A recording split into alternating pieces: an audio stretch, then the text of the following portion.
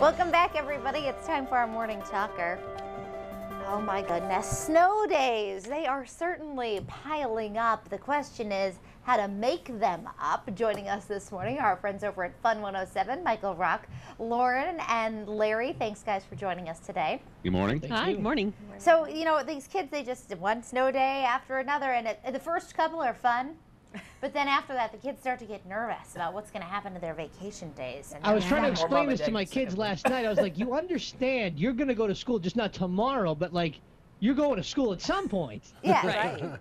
You know, it's, it, I would rather go to school now than in June. Right. Yep. Exactly. Right. I would- Well, it starts to run into that problem too. That you know, if they do go longer in the summer, then there's summer camps and then vacations and and all of that other planning. I mean, the same thing with any vacation. There are people who make these plans. Right. People have Right. already booked trips for February and April vacation. So Yeah. what happens then when you uh, start to eat into that a little bit? Yeah. You wouldn't want me to run the It's show with this. Saturday I'd be canceling February vacation next week in a heartbeat. You would? That I you would, do would. That? They don't need a vacation now. They, I feel like my kids never went back from Christmas vacation. Exactly.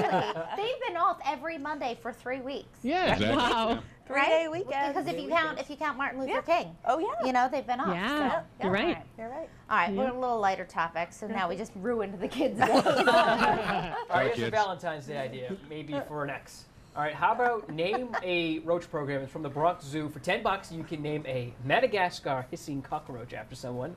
The money goes go. to the Wildlife Oh, gosh. Conservation Society. No. You get a certificate and a beautiful glamour shot of the cockroach. The headline, Steal It with a Hiss. A hiss. So, Loren, not only do you get the cockroach, you get a certificate of authenticity. Oh, goody. With a What glamour does shot. this Somebody that you love, or Oh, yeah, yeah. Someone to your you, husband. you said you're an animal lover, Loren. I- Yeah. this is true. You got me there. Every little oh. animal has a soul. Even cockroaches. I mean, there's nothing that says I really don't like you, like sending somebody an adopted cockroach named after themselves, right? Do you get to, um, is it, does the cockroach have the uh, option to write the, you know, those little candies that have the sayings on them? Can you do that on the cockroach? Oh, the conversation hearts. Like conversations. Like be Right. mine. Yeah. Be mine. Forever. Thinking of you. Too funny. Please don't step on me. Don't say we didn't give you any ideas for Valentine's Day, guys. Okay. Yeah, really. All right. We'll see you guys on Thursday. Thanks. You got it. Good luck digging out. Yeah.